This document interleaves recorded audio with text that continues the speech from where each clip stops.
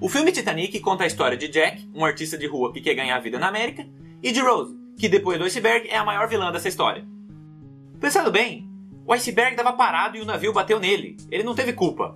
Eu retiro o que eu disse, a Rose é a maior vilã dessa história. No começo, a gente vê a Rose e seu noivo se preparando para entrar no navio. E aqui já aparece o primeiro problema. Ela não é apaixonada pelo cara, ela tá se casando estritamente pelo dinheiro dele, porque a riqueza da família dela tá acabando. Mais tarde no navio eles vão almoçar e a Rose acende um cigarro na mesa.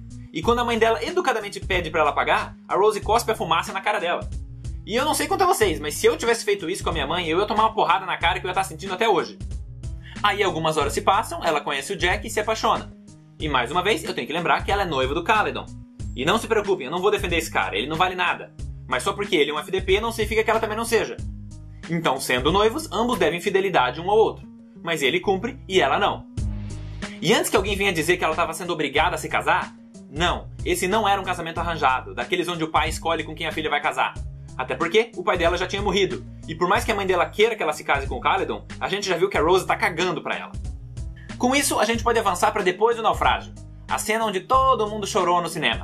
E mesmo as pessoas que realmente gostam do filme costumam dizer que ela foi egoísta. Ela podia ter revezado com ele na tábua, né? 10 minutos de cada um. Muitos até dizem que caberiam os dois.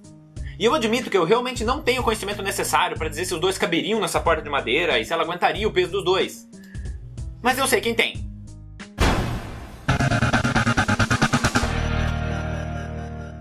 Os caçadores de mitos recriaram essa cena e conseguiram ficar os dois em cima por mais de uma hora, com quase o corpo todo fora d'água.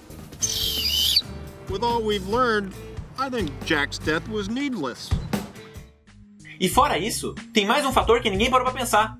Um pouco antes do navio rachar no meio, o Jack insiste para Rose entrar no barco salva-vidas, que só estava aceitando mulheres e crianças. Mas ela se nega a entrar nele. E quando ele finalmente convence ela a entrar no barco, ela pula de volta. E com isso, ela ferrou o Jack. Porque se ela tivesse ficado no barco, ele ia fazer as mesmas coisas que ele fez no resto do filme, só que sem ter que se preocupar com ela. Ou seja, ele ia esperar o navio afundar, nadar entre os escombros, ter a porta só para ele e ser resgatado uma hora depois. Então, de uma forma ou de outra, ela condenou o Jack. E agora que a gente terminou o aperitivo, tá na hora do prato principal. Porque o meu problema não é com a Rose nova, é com a Rose velha.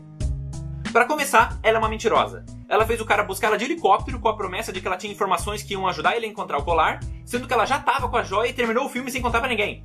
E não é só isso, a história inteira dela é altamente questionável, porque a gente está assistindo ela contar a versão dela dos fatos. Essa é a premissa do filme. Então ela pode simplesmente estar tá mandando um caô foda. E adivinha só? Ela tá. Lá pelo meio da história dela, a gente vê o amigo do Caledon colocar o colar no casaco do Jack para incriminar ele. E mais pro final, aparece o Caledon fingindo ser o pai de uma criança para poder entrar no barco salva-vidas. Ambos atos criminosos. Mas aí eu pergunto, como é que ela sabe disso? Ela não viu o cara colocar o colar no bolso dele e ela estava do outro lado do navio quando a almofadinha pegou a criança. Ela não presenciou nada disso. Então isso parece muito uma pessoa querendo deturpar a imagem do ex. Na versão dela, o cara não pegou um revólver e perseguiu os dois enquanto o Titanic estava afundando. Até para um babaca que nem ele, essa história parece bem exagerada. E é claro que ela pode inventar o que ela quiser. Ela é a última sobrevivente, não tem mais ninguém para questionar. E agora eu quero rapidamente pular pro fim do filme antes de falar meu argumento final. A última cena é ela deitada numa cama enquanto a câmera se aproxima pelos porta-retratos, que a propósito são todas fotos dela e nenhuma do marido ou dos filhos. Aí a imagem passa pelo rosto imóvel da Rose e tudo dá a entender que ela faleceu. Até porque esse é o final mais poético que o filme poderia ter. O próprio Jack, enquanto estava congelando, diz para ela: Ele vai morrer de velhice, quentinha, numa cama. Então a gente pode concluir que ela foi dessa para melhor. E no final, a gente volta pro Titanic para ver qual foi o último pensamento dela. Alguns até dizem que isso poderia ser ela chegando na vida eterna. O que, se for o caso, só piora a situação dela. Então vamos ser generosos e dizer que foi só o último pensamento. Vocês já vão entender do que eu tô falando. Então ela se encontra com o Jack, dá um beijo nele e o filme acaba. E é aí que vem a parte que ninguém para pra pensar. Depois que ela foi resgatada, a vida dela continuou. Ela conheceu um cara, ele se apaixonou por ela, eles se casaram, tiveram filhos, tiveram netos. Tudo coisas que a gente não vê no filme. Mas isso não significa que essas pessoas tenham menos importância. Então, levando em consideração todas as pessoas que fizeram parte da vida dela durante esses 80 anos depois do naufrágio, quem é que recebe o último pensamento dela? O Jack, um cara que ela conheceu por dois dias. E eu sei que, mesmo depois dessa explicação, muitos de vocês ainda estão achando essa cena super linda e romântica. Então eu quero criar uma situação hipotética. Imagine que a sua mãe está no leito de morte e o último pensamento dela, ou seja, a coisa que ela mais valoriza no mundo, não é seu pai, não é você e nem seus irmãos. É um amante que ela teve quando era nova. E com isso eu chego no meu argumento final. A prova de que ela é uma das personagens mais egoístas da história do cinema. Um pouco antes do filme acabar, ela vai até a parte de trás do navio e a gente descobre que ela estava com a joia multimilionária esse tempo todo. E eu até entendo que ela não tem esse desfeito do precioso dela, porque ele tem um valor afetivo de quando ela gratinou com o Leonardo DiCaprio. Mas agora que ela tem mais de 100 anos de idade, ela sabe que a morte pode chegar a qualquer momento. A melhor coisa a se fazer é colocar ele num testamento, para que os filhos e os netos dela que não são ricos possam usufruir desse dinheiro. E não é só isso, o número de pessoas necessitadas que ela poderia ajudar com esse dinheiro é gigantesco. Mas a nossa queridinha não estava afim de dividir.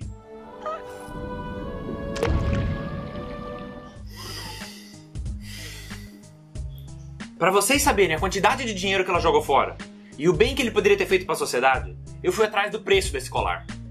O filme diz que essa joia vale mais que o diamante Hope. Então, eu achei um site listando os 7 diamantes mais caros do mundo e o Hope está em segundo lugar, valendo 350 milhões de dólares. Que convertendo para nossa moeda, a gente chega ao valor de 1 bilhão e 200 milhões de reais. Você lembra quando você era criança e sobrava comida no teu prato? E a tua mãe falava que é errado desperdiçar comida porque tem criança na África que não tem nada para comer? Então, a Rose com esse dinheiro poderia ter alimentado algumas dezenas de milhares de crianças pelo resto da vida. E ainda ia sobrar bastante dinheiro para a família dela, incluindo a neta que dedicou a vida para cuidar dela na velhice. Na verdade, esse valor é tão exorbitante que eu arrisco dizer que o número de vidas que ela poderia ter salvo através de instituições de caridade é maior que o número de vidas que se perdeu no Titanic. Então, indiretamente, o iceberg foi responsável por menos mortes do que ela. E com isso, eu encerro o meu caso. Fui! E aí pessoal, espero que vocês tenham gostado do vídeo. E pra quem não sabe, essa é uma série que eu faço chamada Herói ou Vilão, onde eu mostro o lado sombrio dos protagonistas. E eu sei que tem pessoas que se ofendem com esses meus vídeos porque elas têm um carinho muito grande pelo filme, mas isso aqui é uma brincadeira, então não leve a sério. Até mais!